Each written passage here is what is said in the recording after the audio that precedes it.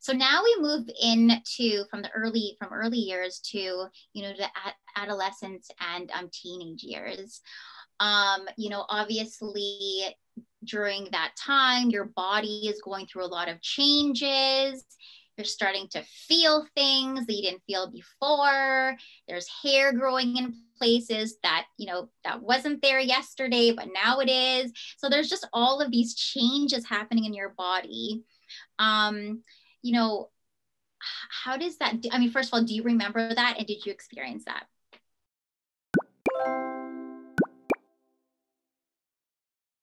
I remembered a lot of weird feelings uh, that I, I, never really had a really strong health sex ed course that really taught me about uh, different levels of intimacy.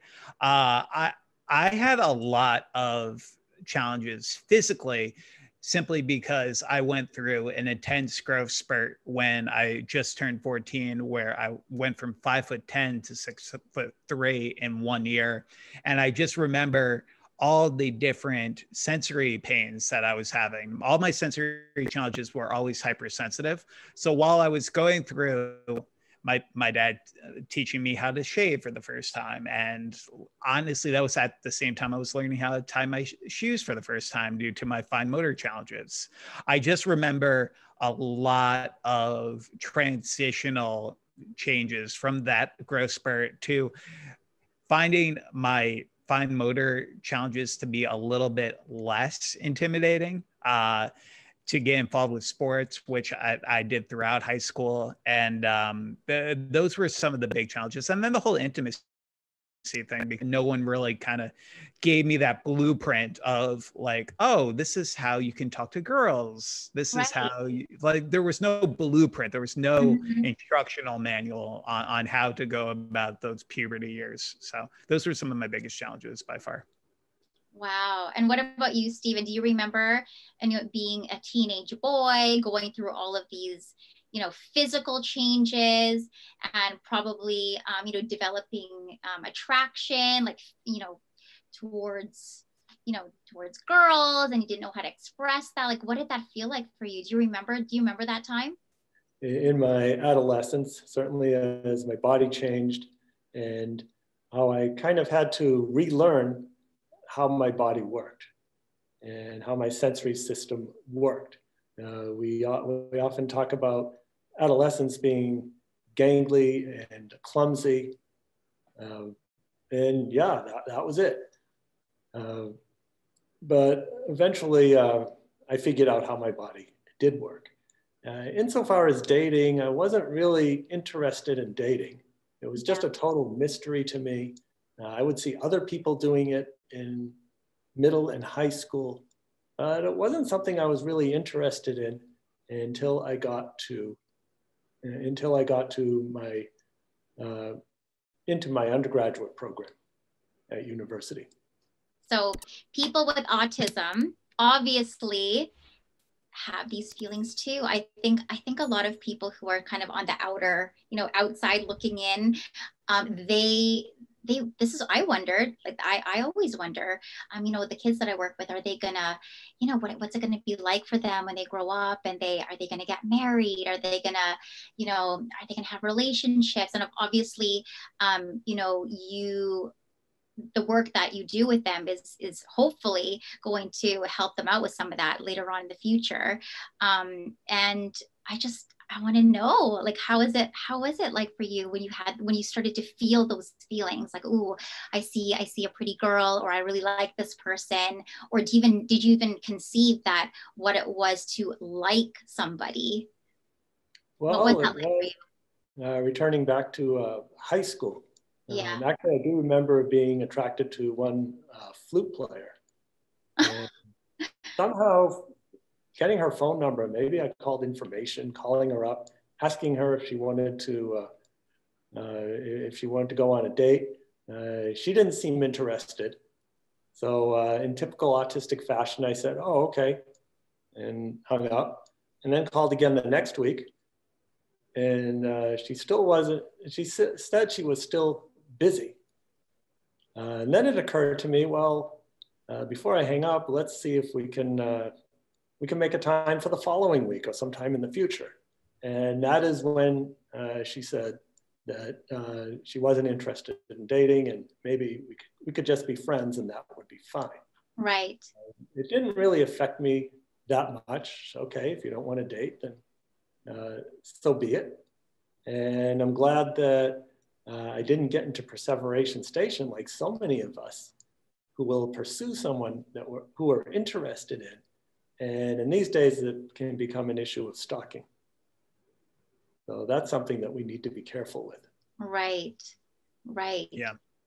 Absolutely. And just going off what Stephen was saying uh, uh, about the whole stalking element, that's that's really why and and and I provide mentoring to individuals with special needs transitioning to adulthood. And I would say about 90 95% of the time they don't want to talk about mock interviews, they don't want to talk about post-secondary opportunities. They want to talk about the cute boy and the cute girl that they're meeting mm-hmm. and how they go about asking them out, going on a date, getting yeah. into a relationship and again those different levels of intimacy.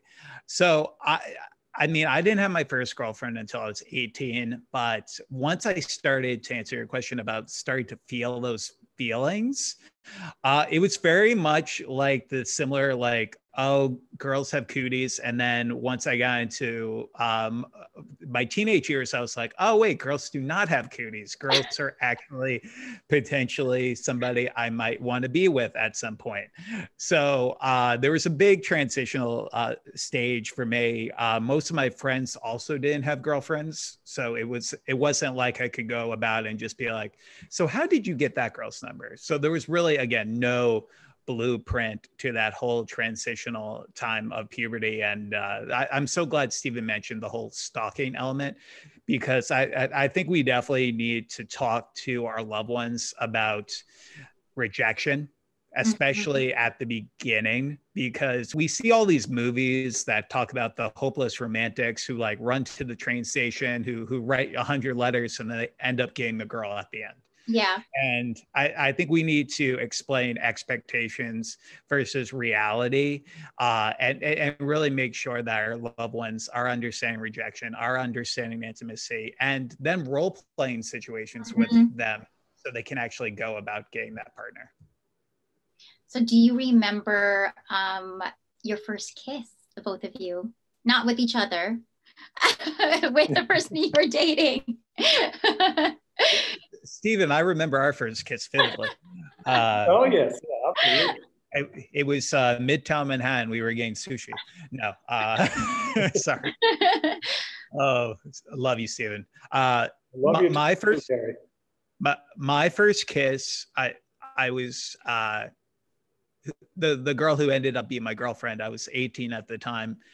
Uh, she was giving me signals and i did not know that she was uh, nonverbal communication and body language was very very like oh this girl is tapping me on the shoulder. She and it's kind of lingering. Oh my god what is going on? I've never had mm-hmm. this experience before.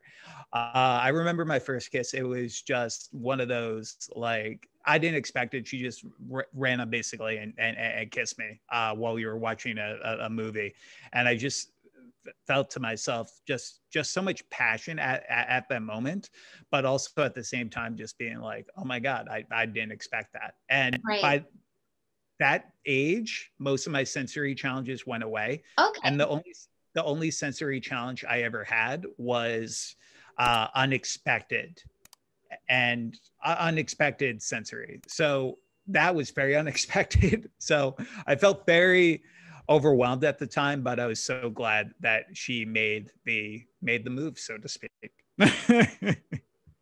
Wow. Okay. And Stephen, what about you? Tell us about your first kiss.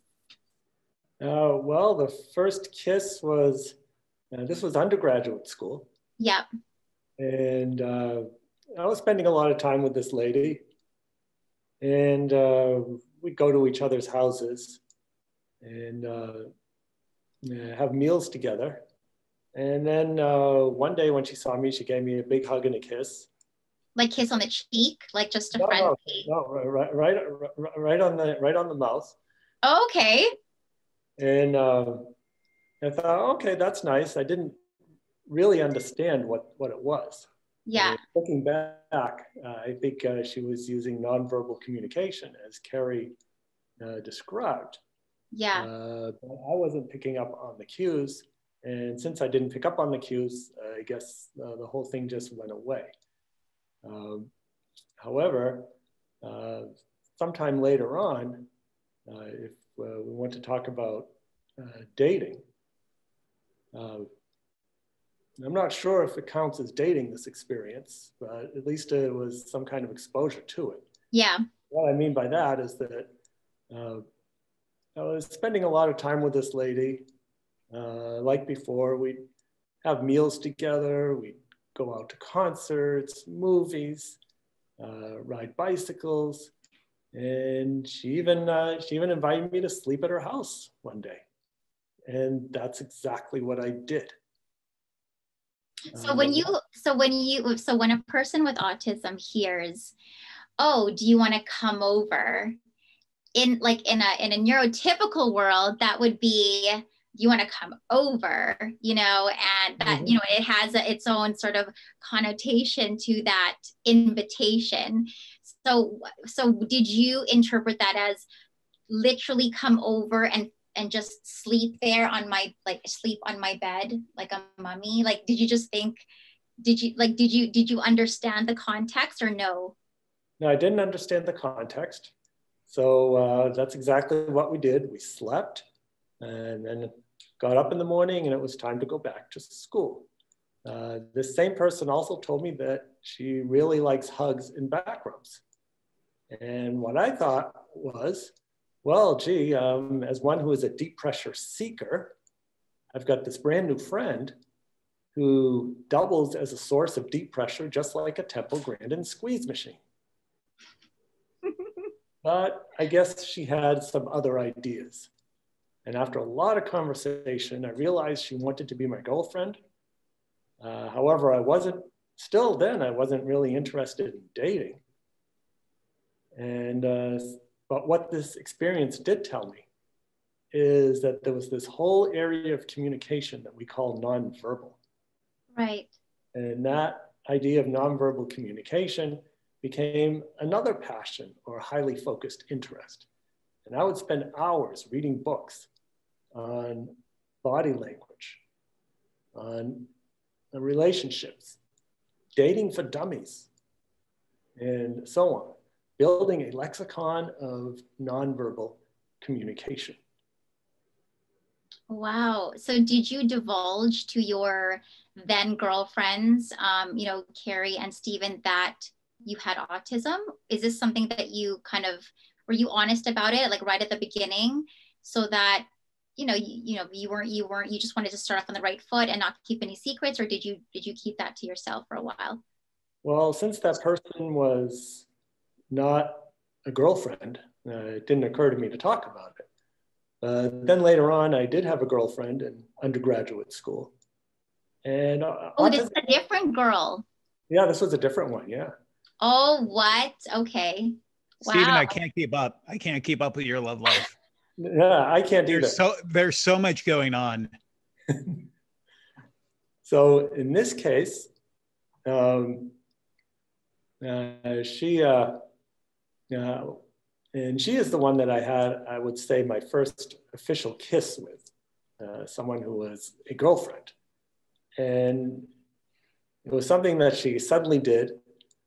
It seemed kind of weird to do it, but it was kind of like, okay, uh, we can we can do this. And uh, oh, okay. And uh, so she she had taught me a number of things, including uh, intimate relationships and okay. what sexually because, like Kerry, there was no blueprint. Um, I had read some things in books, but it's one thing to have book knowledge, it's, one, it's another thing to have practical knowledge. And I remember not talking to her about being autistic because uh, at that time, uh, being autistic wasn't really important to me. Mm, yeah. In fact, if somebody had asked me, uh, were you autistic when you were a kid? Or if the subject came up, it never did. I probably would have said, well, yeah, I was autistic when I was a kid, but I'm over that now because I'm in college and doing all of these things. Yeah. However, one day when we were at my parents' house, uh, my mother did uh, take it upon her to herself uh, to disclose uh, what I thought at that time my past with autism was. Right. And uh, so uh, she found it very interesting, and she seemed to understand, which was good. Uh, some people ask me, do you mind that your mother disclosed for you? And a lot of people, I think, probably would mind, but it, it didn't bother me at all because it was something that existed. Didn't occur to me to talk about it. Yeah. So um, you know, that was perfectly fine. Kerry, what about you? When you you know your girlfriend when you were 18 like did you feel like it was important to to share it? Because obviously you know if you have autism there are you know aspects of your condition that might affect the way that you might forge a relationship. I mean right. let's let's take your your sensory um, you know your your sensory challenges for example. Or is this something that you just kind of you know like kept to yourself yeah. So, I mean, my, my first girlfriend, so we went to a school for kids with learning disabilities. So, all the kids knew they had some form of disability. My girlfriend had ADD and ADHD. I had autism, and we were all pretty open about it simply yeah. because we all knew we had some form yeah. of learning disability. So, it really didn't come up until my second girlfriend, uh, maybe a year and a half later, where she she had no idea that I was on the spectrum. And I remember posting, I, I, think it was on MySpace, so before Facebook, and posting something autism awareness related, because uh, during college was the first time I actually ever told anyone that I was on the autism spectrum. Yeah. I have this quote unquote invisible disability where so many people come up to me in my life and they say, Kerry, you have autism, but you don't look like you have autism. Uh, and I'm like, what's autism supposed to look like anyway? So, anyways, long story short, I've had a very mixed bag. So I I, I ended up not I, I, mentioned it to my second girlfriend simply because she asked why I was pas- passionate about autism, posting it on MySpace. Yeah. And and now today when I date, I usually don't bring it up uh, simply because the, most of the people I know who bring it up really bring it up because they know, for example, that they might be, they, they might say something that's very authentic, that's very true, but it might not be the best thing to say to a girlfriend or somebody who has communication difficulties, who has sensory challenges like I, I, had extremely when I was a kid. So it's very case by case. Unfortunately, most girls today, and not not unfortunately, but most girls today know I have autism right off the bat because we live in a digital age. And right. every single time I go on a date, people go on Google, they type in Kerry Magro, and then the first thing that comes up is books and my public speaking. Right. So it's it's kind of more they've already done their research beforehand. so do you find that um, you know dating now you know with with um, the girls that you meet obviously they've as you said they've done their homework they've researched they they know that you're you know both of you are public figures. Do you feel like um, that um, affects your date? Like are they more interested or are they more guarded or are they just intrigued?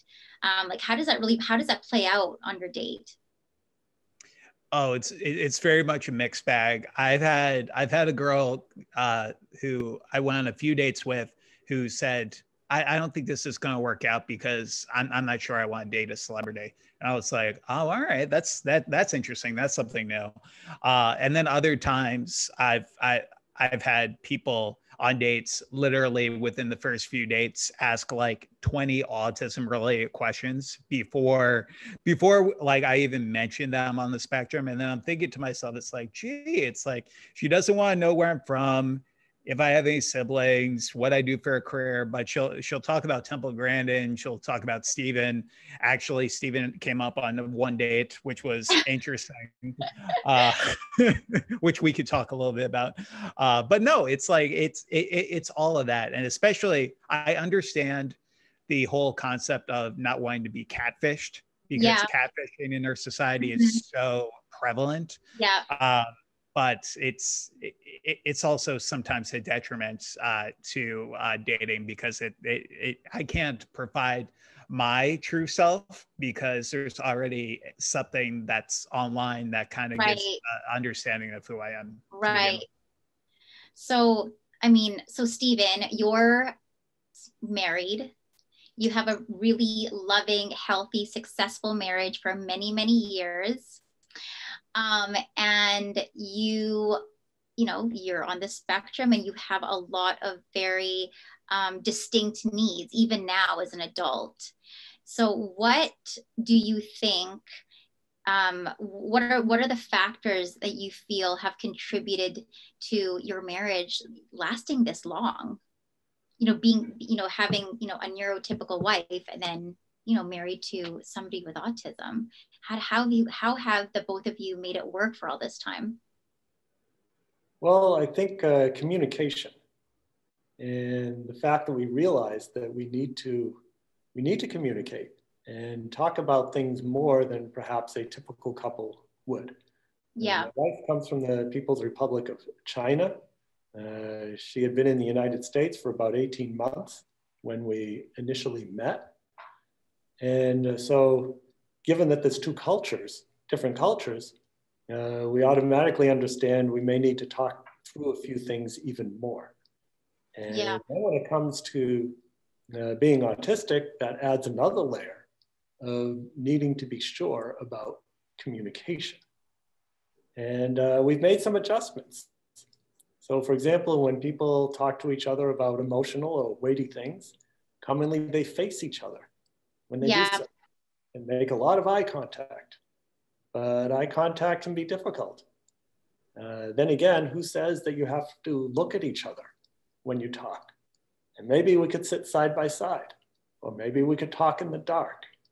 And I haven't done this, but I know of some autistic couples who will talk via instant message. Now, they may even be in the same room, or they may be in adjoining rooms.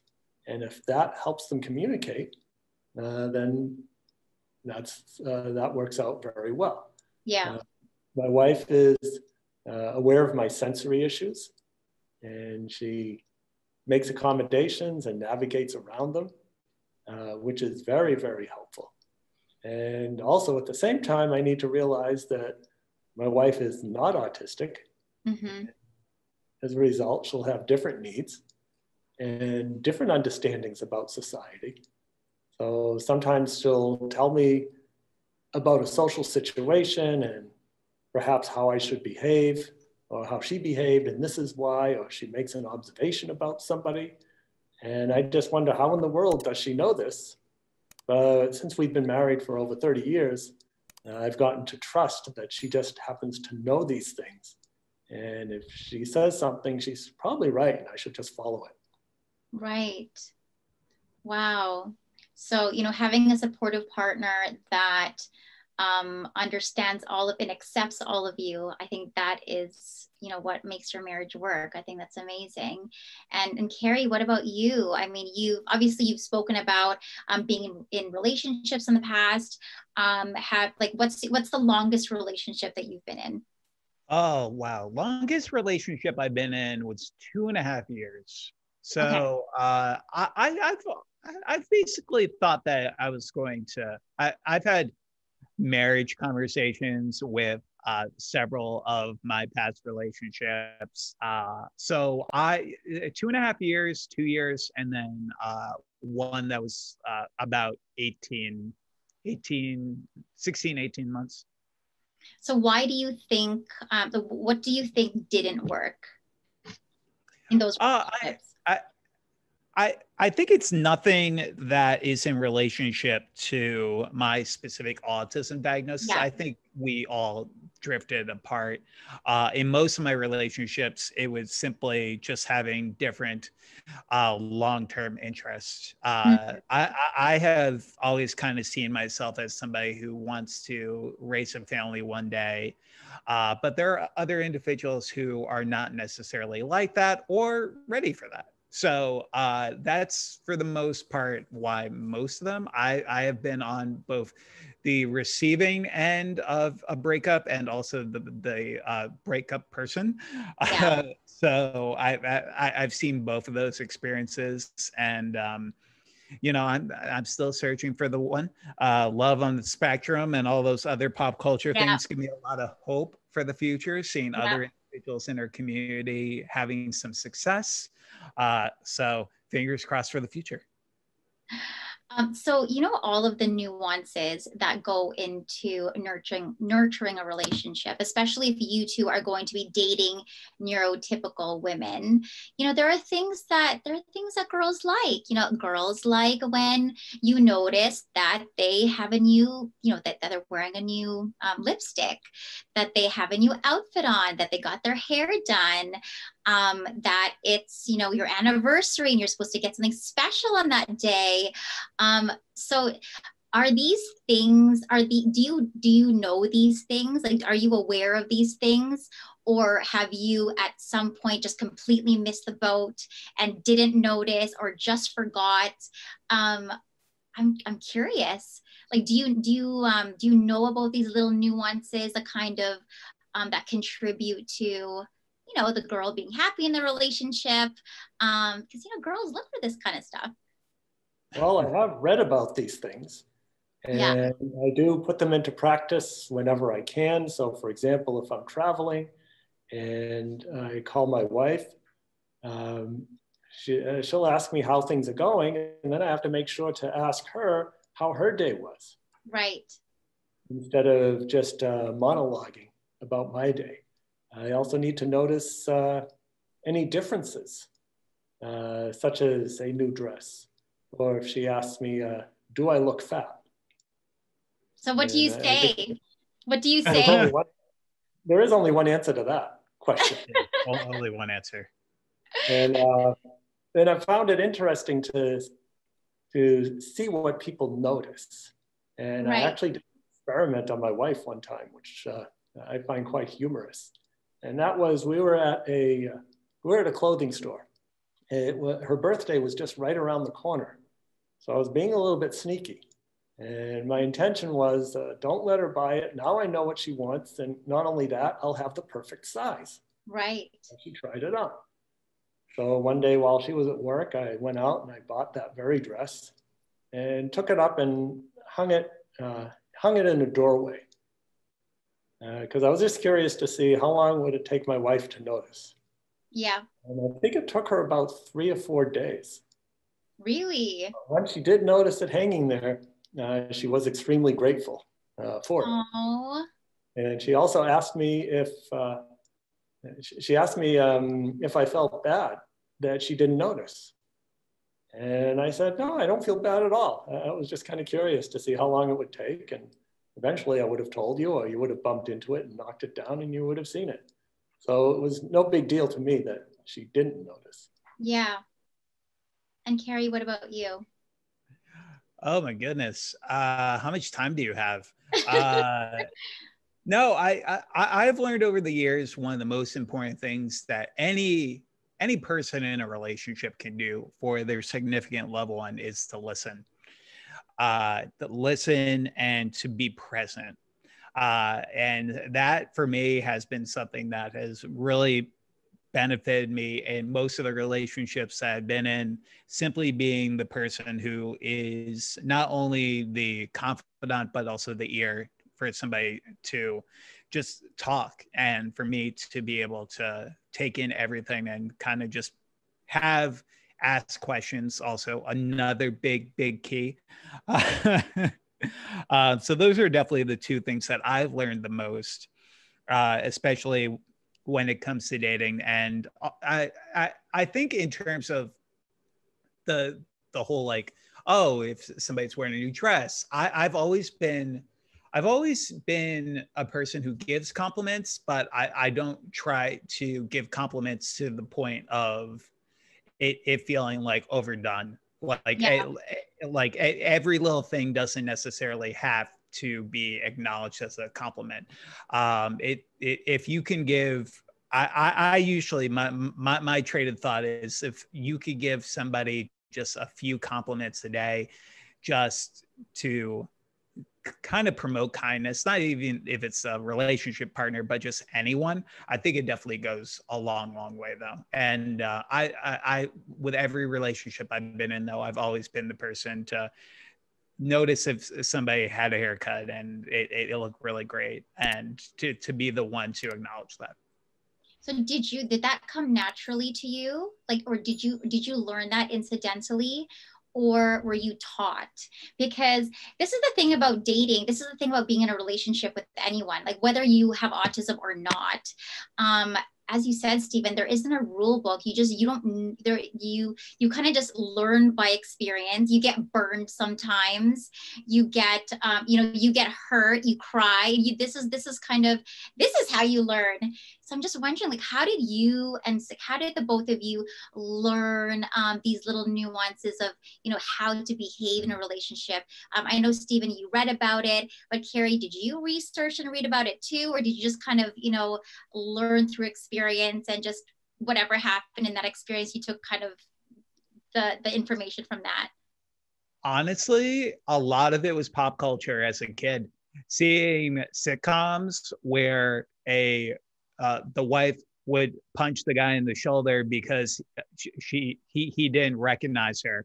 All, all of those things, even though I took everything with a grain of salt because again expectation versus yeah. reality uh, that was kind of how I learned in many instances to uh, role playing was always key for my life, whether it was doing social story therapy, to trying to put myself in this situation before I was in this situation. And mm-hmm. I think mm-hmm. that's why I really latched on to movies and television because I would love romantic comedies. I would always picture myself one day having a family. So I would take those little things and I would kind of tie them into just how to be a good partner and to be the best version of myself for a significant partner. So it was a lot of just the entertainment world, honestly.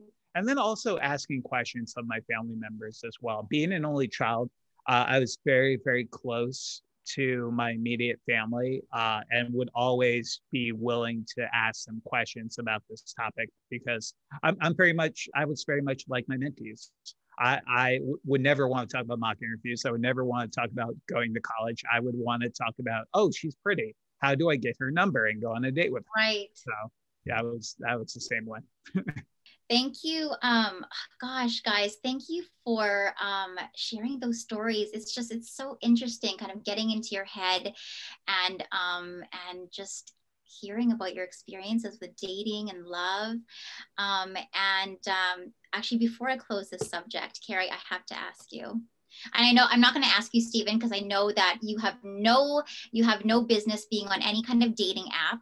So I hope not, anyway. Uh, so Kerry, um, first of all, which dating app? I'm curious. oh goodness. Uh, so I'm on yeah, and Stephen, no, you're not allowed. Uh, coffee meets bagel. Uh, uh, coffee meets bagel. Uh, Hinge, and uh, bagel.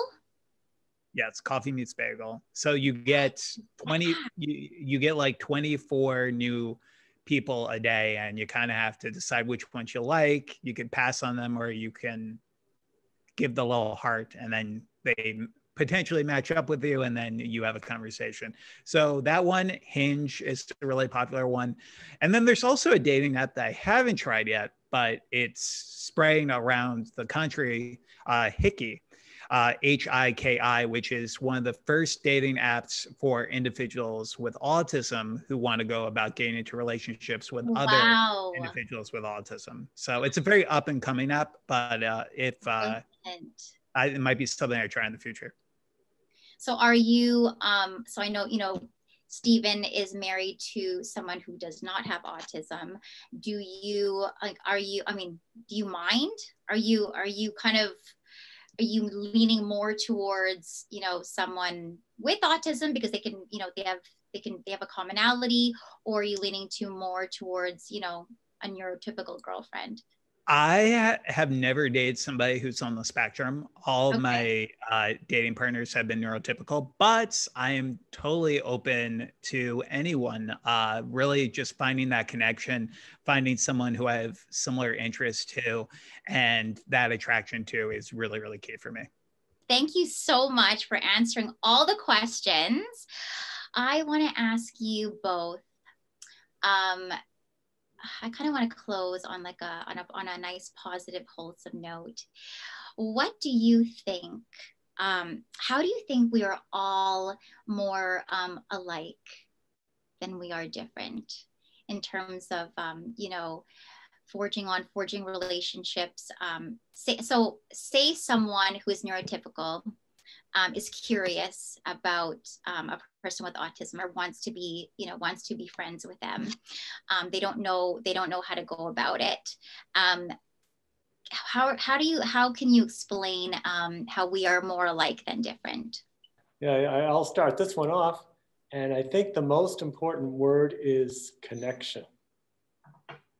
Autistic people do want to be connected with others.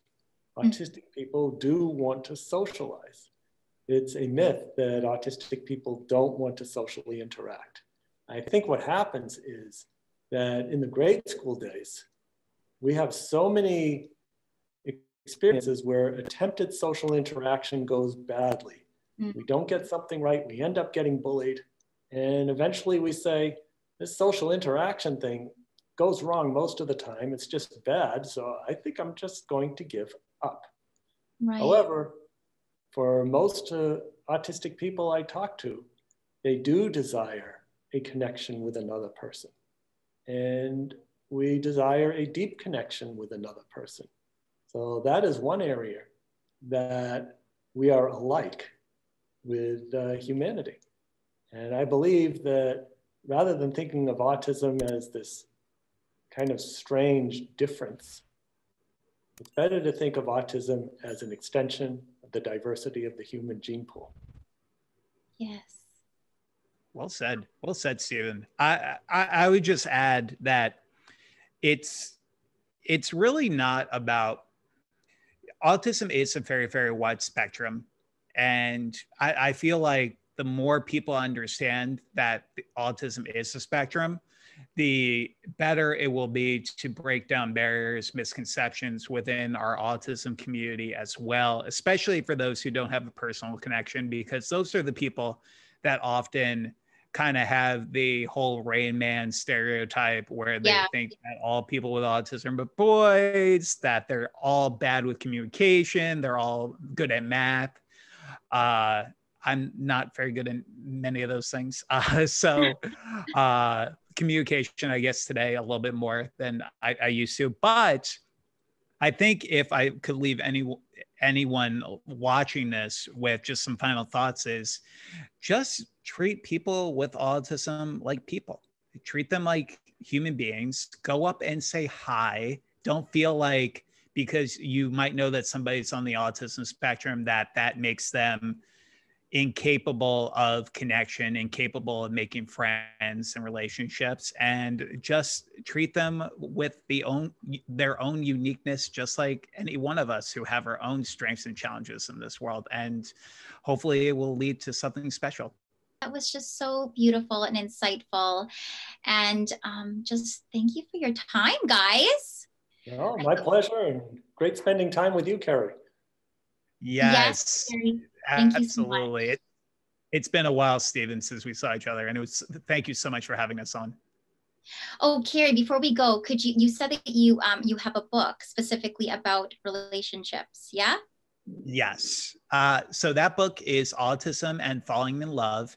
It's available on Amazon, uh, and it's about becoming the best quality version of yourself, uh, regardless if you're on the spectrum or not. So it's very also giving tips to neurotypical individuals on how they can become the best version of themselves for their partners based on my personal experiences trying to find love. Uh, well, there you go. That's another one on my list too. Then, um, and of course, all of Stephen, all of Stephen's books. Thank you. Have a good day, guys. You Thanks, too. You too. Bye.